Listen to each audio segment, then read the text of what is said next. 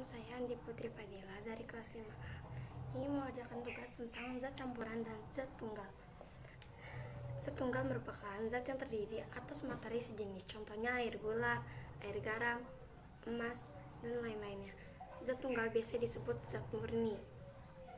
Zat campuran adalah zat yang merupakan terdiri atas beberapa jenis materi atau zat tunggal zat campuran dapat dibedakan menjadi dua yaitu campuran homogen dan campuran heterogen.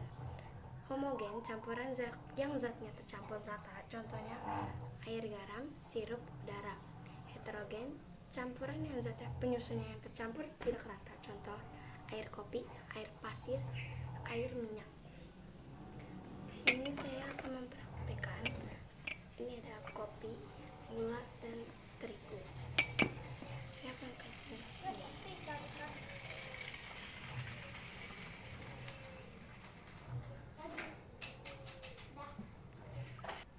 Langsung aja diaduk.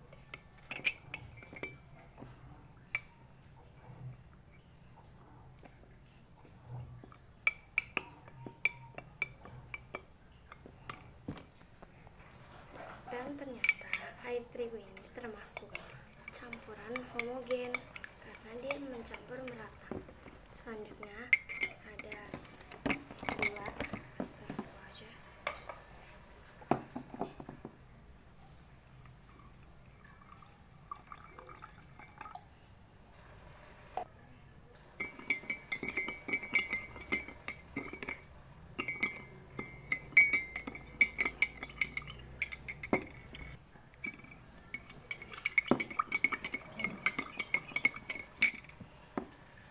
Ternyata air dengan gula adalah termasuk campuran zat homogen. Selanjutnya ada kopi. Kasih dulu ya airnya. Kayaknya langsung.